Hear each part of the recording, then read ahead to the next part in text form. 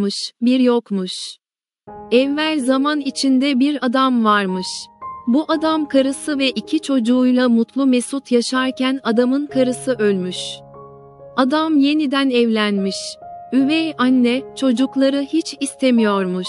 Bu çocuklardan kurtulmak için bir plan hazırlamış. Sonra buğdayları kaynatmış.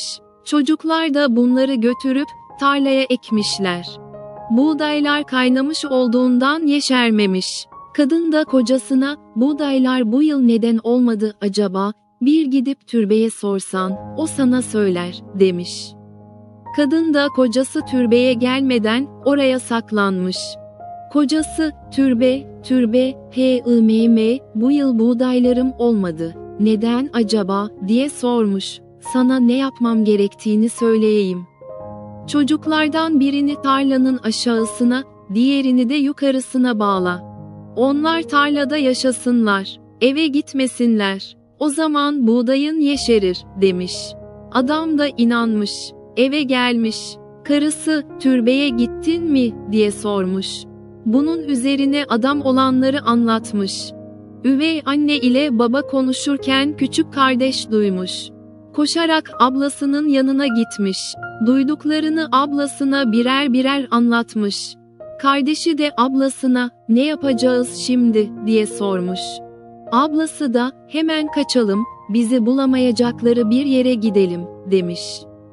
Karar verip kaçmaya başlamışlar. Az gitmişler, uz gitmişler. Dere, tepe düz gitmişler.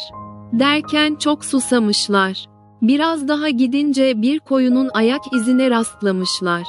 İçinde de su varmış. Kardeşi içmek istemiş. Ama ablası izin vermemiş, o sudan içme. Eğer içersen koç olursun, demiş. İçmeyip yollarına devam etmişler. Az gitmişler, uz gitmişler.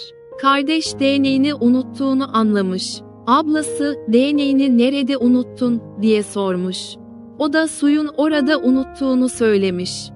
Küçük kardeş geri dönüp, değneği almaya gitmiş. Oraya varınca dayanamayıp sudan içmiş ve koç olmuş.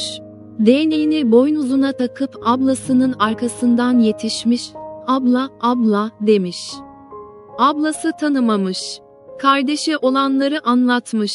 Beraberce yola devam etmişler. Az gitmişler, uz gitmişler, dere tepe düz gitmişler.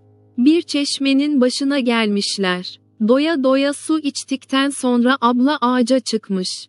Kardeşi de ot yiyormuş. Günler böyle geçerken bir gün çeşmeye padişahın oğlu gelmiş. Atına su verecekmiş. Ama at çeşmenin başına gelince su içmemiş. Padişahın oğlu çok şaşırmış. Kendi de çeşmeye su içmeye inmiş. Bir de ne görsün?